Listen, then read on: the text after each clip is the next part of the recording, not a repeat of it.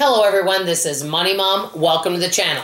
Today or tonight, I want to chat with you guys about what I'm not usually willing to pay full price for and why. Let's get started and talk about it. First one, clothing. I mostly get my clothes on clearance or a good sale. For example, I think this shirt was like $8. Okay, let's say it retailed for $34. I'm not going to pay $34 for it.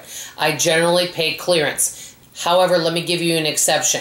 You guys already know I've been all different sizes. A few years ago, before I started the channel, I had gotten down to, I weighed in the 160s, okay? Granted, that's not thin, but for me it is. Well, I had purchased some clothes from Chico's. I love that clothing store.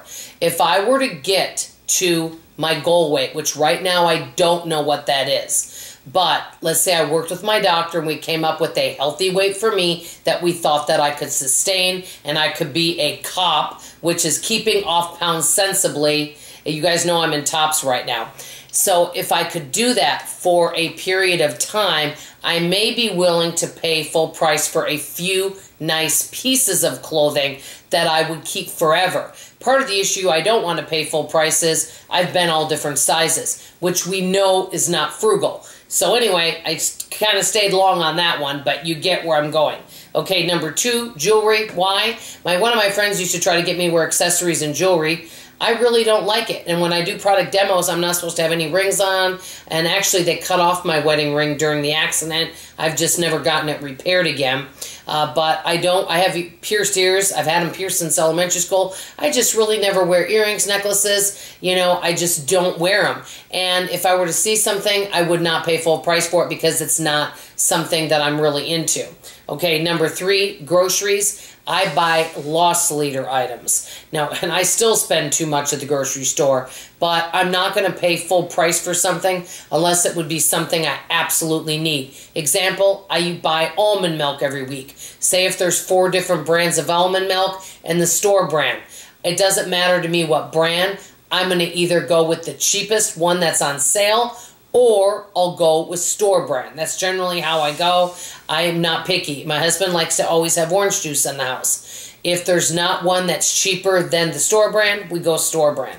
So I usually buy Loss leader items at the grocery store. Number four, entertainment. I don't spend a lot on entertainment. I just spoke to you guys about going out to eat. I would like to actually go to a movie though. I haven't done that in a long time.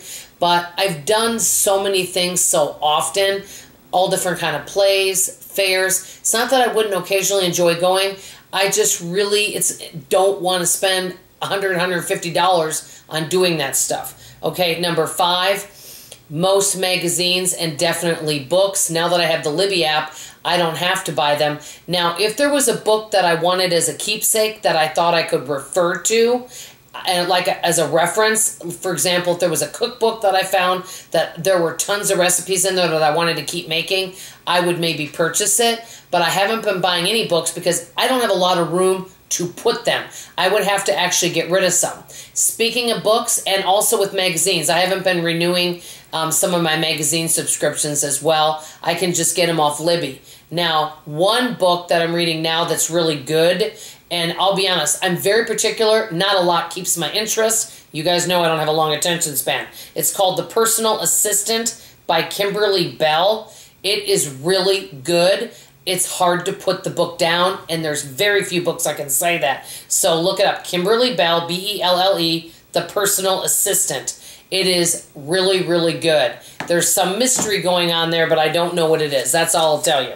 Okay, number six I don't want to pay for things that I might be able to get for free. That would be something else because there's always items we can get for free. For example, I don't want to pay to have a bank account. I just keep enough money in there so I don't pay a service fee.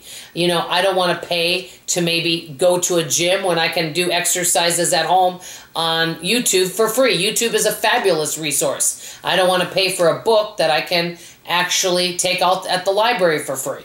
Okay, Number seven, I'm just going to round this up into one. Most retail items. Most retail items I don't want to pay for if I don't have to, unless it's something that I'm going to really, really value.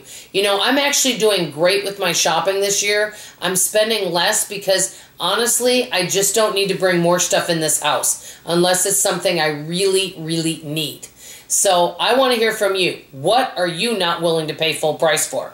That's all I have to say for now. I love you, I appreciate you, and I sure hope to see you on tomorrow morning's video. Bye bye.